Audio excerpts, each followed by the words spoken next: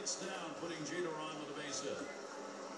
Well, anytime you can get on base with no outs to start an inning, you know that an extra base hit